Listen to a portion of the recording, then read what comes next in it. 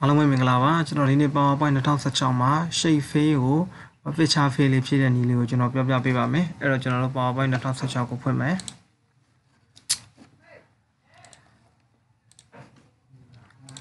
PowerPoint 2016ကို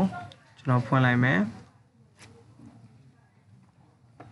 ဖွင့်ပြီးတာနဲ့ကျွန်တော်ဒီထဲကနေပြီးတော့ blank presentation တခုကိုကျွန်တော်ရွေးမယ်ရွေးပြီးရင်ကျွန်တော်တို့ သူ့မှာ original ပါလာတဲ့အတွင်းတွေကဘောင်တွေကိုကျွန်တော်ကဖြတ်ပစ်လိုက်မယ်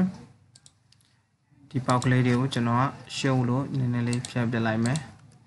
ပြီးတာနဲ့ကျွန်တော်တို့က access tag ကနေပြီးတော့လိုချင်တဲ့ shape တစ်ခုခုကိုရွေးမယ်ပေါ့နော်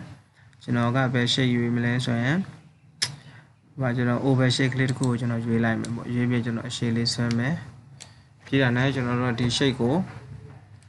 insert shape format ထဲကနေပြီးတော့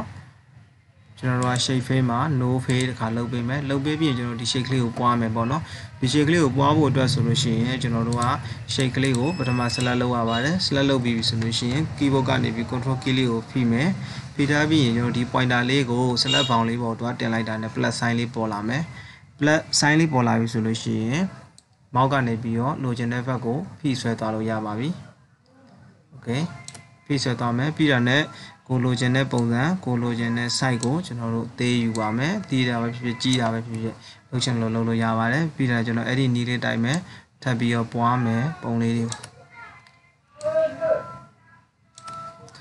အဲကြောင့်ဒီအကြီးကိုပွားချင်တယ်ဆိုလို့ရှိရင်လည်းအဲ့ဒီနီးလေးတိုင်းမှာကျွန်တော်ပွားယူလို့ရပါတယ်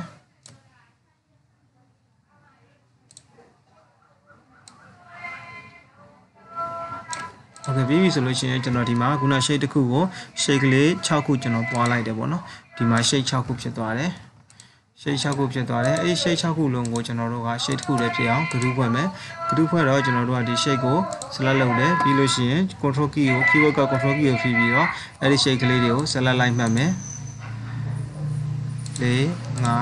6အဲဒီ select ဒါလေးကို select လုပ်ဖို့အတွက်ကျွန်တော်တို့ keyboard ကနေ control key လေးကိုဖိထားပြီးအဲဒီရှိတဲ့ shade ကလေးတွေကိုလိုက်ပြီးတော့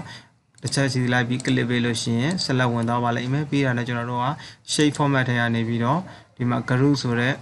arrange ဆိုတဲ့ group ခုရှိမယ်အဲဒီကနေကျွန်တော်တို့ group ကိုသွားမယ်ပြီးရင်ပေါ်သွားနေ group တစ်ခု group ကိုနှိပ်လိုက်တာနဲ့ဒီကျွန်တော်ယူထားတဲ့ shape တွေအလုံးက group တစ်ခုတည်းဖြစ်သွားပါပြီအဲဒီ group တွေဒီ group ထဲမှာ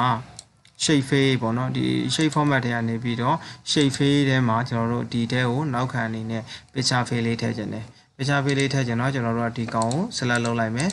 select လုပ်ပြီးဆိုလို့ရှိရင် shape format ပေါ်လာမယ် shape format ထဲမှာကျွန်တော်တို့ shape fade ကိုသွားမယ် shape fade ကနေမှကျွန်တော်တို့ picture ပေါ့နော် picture fade ကိုနှိပ်လိုက်တာနဲ့ shape fade ကနေ picture ကိုနှိပ်လိုက်တာနဲ့ဒီပေါက်လေးကျလာလိမ့်မယ်ဒီပေါက်လေးကျလာပြီးကျွန်တော်တို့ wall offline ကိုနှိပ်ပေးမယ်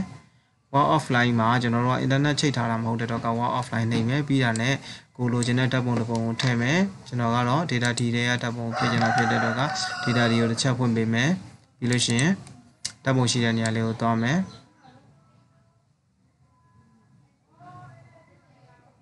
ဥပမာကျွန်တော်ကဓာတ်ပုံတစ်ပုံယူလိုက်ရပါတော့ကျွန်တော်ဒီ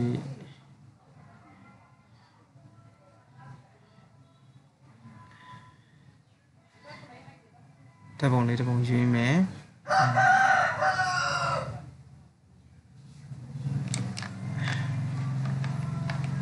ကျွန်တော်ဒီထန်းတော့ပုံလေးရွေးမယ်ပေါ့နော်ထန်းတော့ပုံလေးကိုဒါပဲ click နှိပ်လိုက်မယ် click နှိပ်ပြီးခဏစောင့်လိုက်တာနဲ့ဒီထဲမှာ picture file လေးကိုသူကသူဖြည့်ပေးသွားလိမ့်မယ် okay ဒါဆိုလို့ရှိရင်အခုနကျွန်တော်တို့ရွေးလိုက်တဲ့ဓာတ်ပုံလေးကဒီထဲမှာ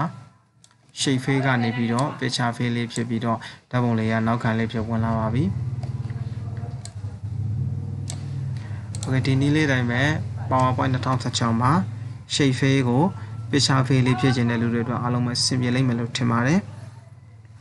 ပြီးရင်ကျွန်တော်တို့ဒါလေးကိုဓာတ်ပုံအနေနဲ့စိတ်မယ်ဆိုလို့ရှိရင်